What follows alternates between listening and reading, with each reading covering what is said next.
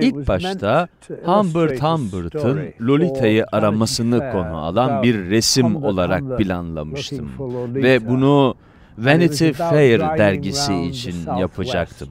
Resmin güneybatıda araba yolculuğu yapmayı ve Humbert'ın deyişiyle yolun monotonluğunu anlatmasını istiyordum. Benden bu istenmişti. Kabul ettim ve buna benzer bir yol, yani resme örnek olabilecek bir yer aramaya başladık. Yan yola da ihtiyacımız vardı çünkü ne kadar karmaşık olacağını biliyordum. Sonunda burayı bulduk. Tabelalar da çok güzeldi. Otoyol tabelaları. Onun dışında dört tane daha tabela vardı ve bunlar o zaman birbirine daha yakındılar. Sanırım fotoğrafları çekmek 10 gün sürmüştü. Sonunda 800 kadar fotoğrafla tamamlandı. Ortaya çıkan resim çok büyük olmuştu ve o zaman aslında tamamen farklı bir şey yaptığımı anladım. Fakat resmi kullanmayacaklarını söylediklerinde o kadar umursamadım. Sonuçta elimdeki iş güzeldi.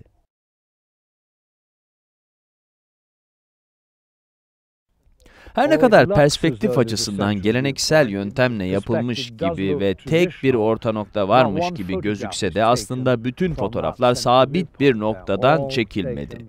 Her bir fotoğraf farklı bir yerden çekildi. Ayrıca resimde farklı yönlere de bakıyorsunuz. Yola yani aşağı doğru ya da yukarı doğru olan kareler var.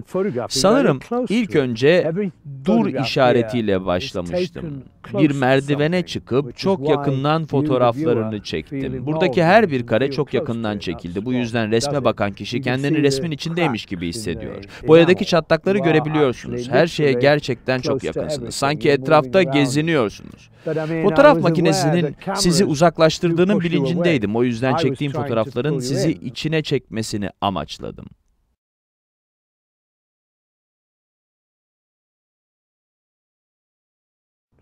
Fotoğrafla ilgilenen bir arkadaşım bunun bir resim olduğunu söyledi ama ben fotoğraf olduğunu söylüyorum. Aslında gökyüzünü bir anlamda boyadım diyebilirim çünkü mavinin hangi ton olacağı benim elimdeydi.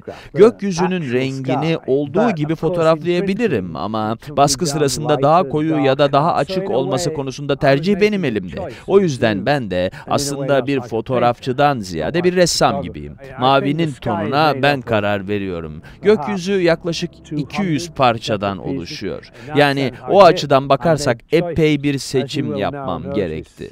Belki fark etmişsinizdir. Ağaçların bazıları farklı yerlerde duruyor. Onları farklı yerlere koydum. Yani bazı şeylerin yerini değiştirme imkanım vardı. Kolaj yapmaya ilk başladığım zamanlarda buna fotoğraf makinesiyle resim çizmek diyordum. Kolajda da resim çizer gibi seçimler yaparsınız. Hepimiz aynı şeyleri görmüyoruz. Hepimiz aynı şeyleri duymuyoruz. Sanatçıların bize söylemeye çalıştığı şey de işte bu ya da benim sürekli yapmaya çalıştığım şey.